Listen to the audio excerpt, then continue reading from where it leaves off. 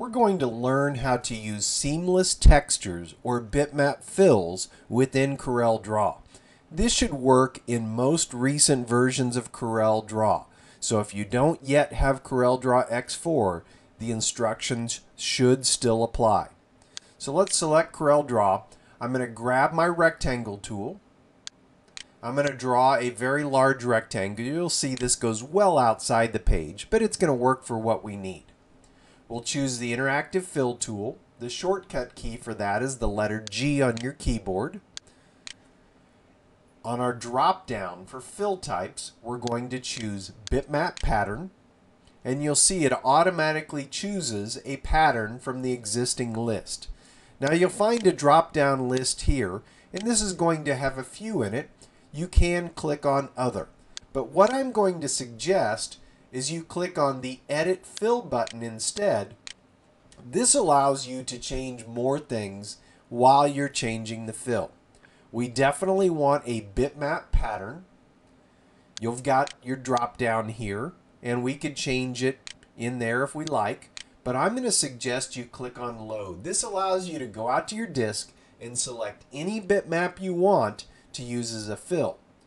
Now specifically, we want to work with a seamless texture because that means it can sit side by side with copies of itself and you won't see a seam.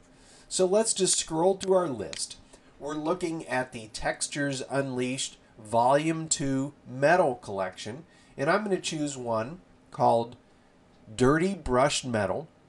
We'll choose the one that's 1024 pixels by 1024 pixels. We'll go ahead and click on import and it defaults to 2 inches by 2 inches. So 1024 divided by 2 inches means that we're effectively working at 520 excuse me 512 DPI or PPI as some of you prefer. We'll say OK. You'll see the size of that and you'll see that the texture repeats itself, but again, there are no seams. If we go back into the dialog box, we can change it to 4 inches by 4 inches. Now it is effectively 256 dpi and you'll see the pattern still is there and again no seams but this box is much larger. If we want we can go back in, click load again, choose another pattern. Let's go with small metal grip this time at 2048 pixels We'll say OK. And now you see the very common diamond plate looking pattern. And we're all done.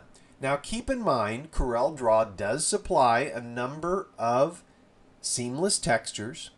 The largest bitmap size is 320 by 240 pixels, so they're relatively small. And they are also stored as 8-bit color, meaning they're dithered, versus the ones we've been looking at are much larger sizes and they come in full color.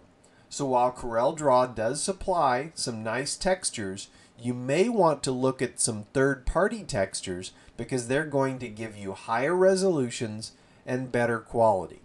And we highly recommend you look at the Textures Unleashed collection.